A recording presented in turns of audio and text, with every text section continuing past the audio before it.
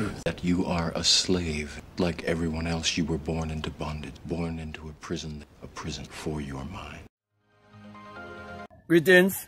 Today I want to speak to you on the subject of rebirth or being reborn. I want to let you know that you have to first die to have a rebirth. And Neville spoke about this birth and the Bible spoke about this birth also in St. John chapter 3, which is the new birth. And I'm saying to you, being born again means that you're going to be born from above the place of the skull, the place that is called Calvary and it's called Golgotha. And the reason why you must be born from above or from the skull is so that you would experience yourself, your invisible self. And that is why those who are connected to the message of Neville Goddard, you would know that Neville was taught by Abdullah the Black Mystic from Ethiopia. And that Abdullah wasn't just about teaching Neville the law of how to manifest things in this world. But he wanted him to know what the colonial masters would have done to the people who they would have indoctrinated with a colonial mentality and point them to look outwardly to believe in a God or a Savior or a Redeemer outside of themselves and would have kept them in darkness, kept them in blindness, but most of all would have kept them in a state of death. And that state of death is a state of amnesia, a state of forgetfulness. That is why many of us fail to realize that we are the gods that would have fell asleep. And there must be a great awakening, awakening. And we must wake up from that dream of life. So when you understand the message of symbology and Neville himself said to Abdullah everything was a symbol. And we look at our ancestors and we chase everything back to antiquity, everything back to ancient African spirituality, where our ancestors have been saying, man, know thyself. We see where Abdullah was teaching Neville to look inwardly, to use the law to create his reality consciously so that later on, he will come to that place of understanding that true salvation is self-realization. And that will come through death, burial, and resurrection. And so when we look at the plants and we look at nature, we see nature always reflect the rebirth, the new birth. As I would have mentioned before in a video concerning right where I'm standing here and all around here, where all the grass were burned to the ground and they now start to grow again. I spoke about it and said that they gonna regrow again. And that was the lesson I was getting from it.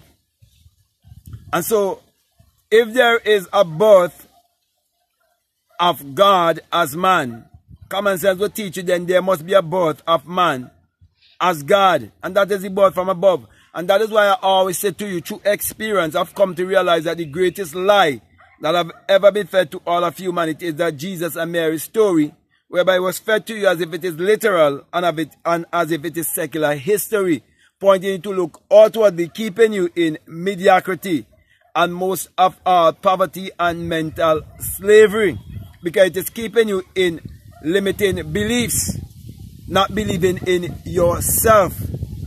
So, my brother, and my sisters, do not just take the message I've Neville Goddard and run with it just to get things in this illusionary wall. This is the Maya. This is the wall of illusion. Everything is, il is illusionary.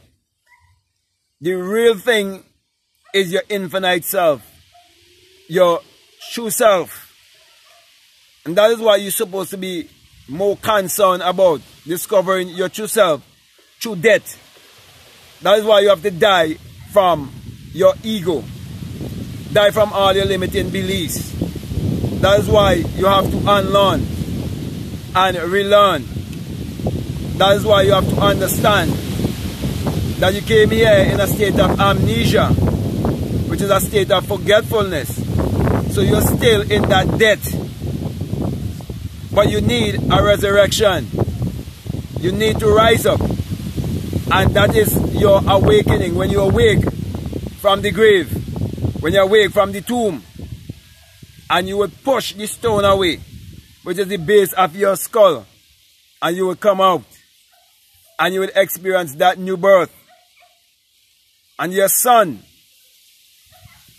which is humanity, it represents humanity, will definitely call you Father. And you will understand what it means when it says only the Father can reveal the Son and only the Son can reveal the Father.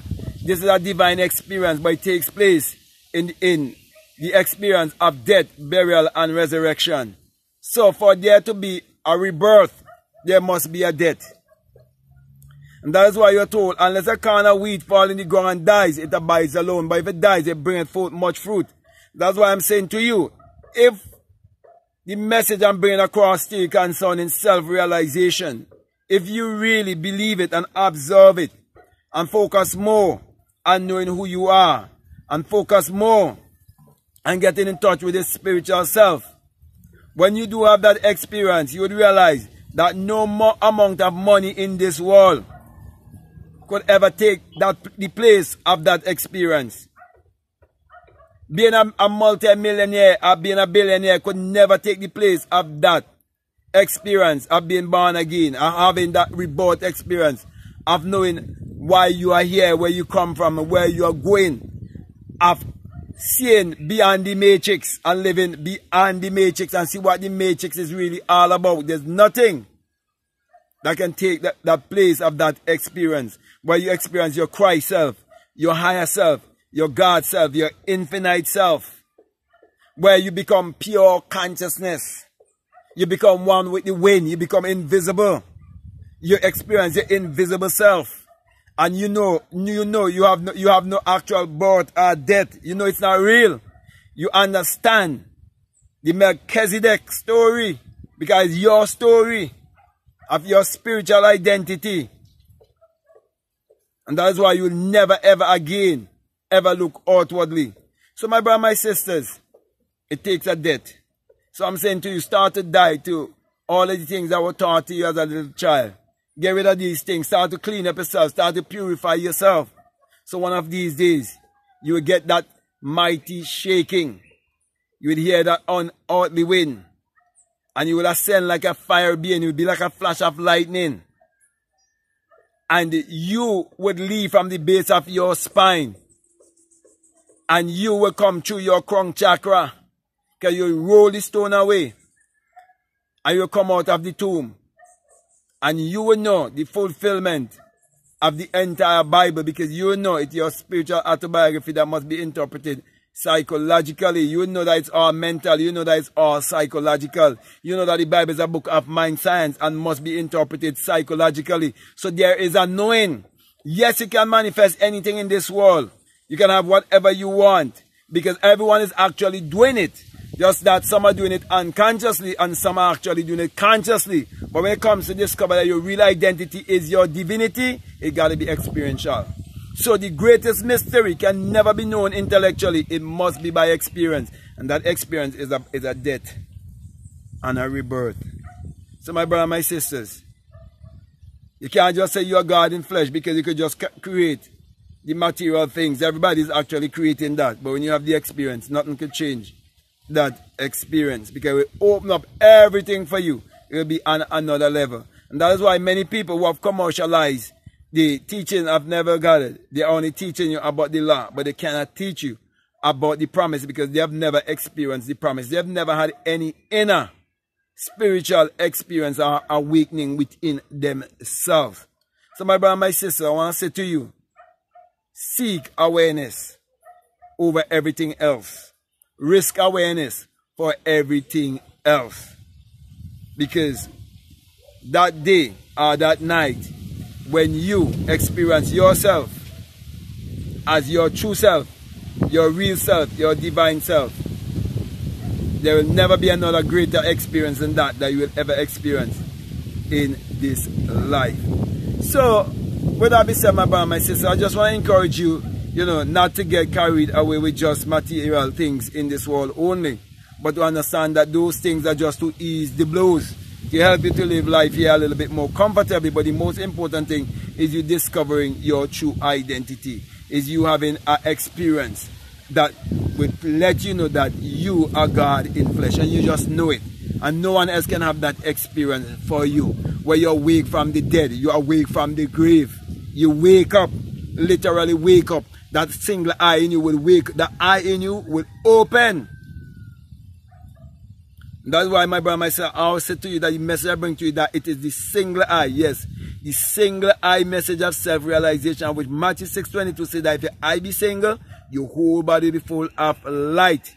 And I'm saying that would take place within you. And when it happened to you, you know that the sun, as in the SUM, parallels the human imagination. The human imagination parallels the sun.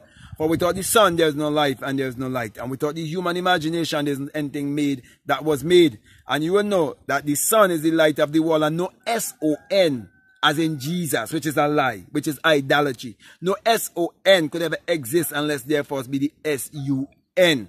And that is why Malachi 4 and 2 tells that the sun, the S-U-N, of righteousness. So righteousness is not something that you attain. It's something that you discover. So he said, the Sun of righteousness shall arise in you, not outside of you. With what? With healing in his wings. He's going to heal you from all of the false identity and all the false claim and, and limiting beliefs. He's going to heal you from all of that.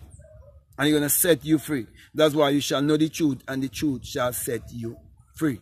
So, with that being said, my brother, my sisters, I want to say once more again to you that if it's the very first time that you listen to me and what I'm saying, it makes sense to you, if it really resonates with you and you haven't subscribed already, I'm definitely encourage you to subscribe, to like, to comment, or to share this video. Also, if you like to follow me on TikTok or you like to follow me on Instagram, you can follow me at Black Mad Guru.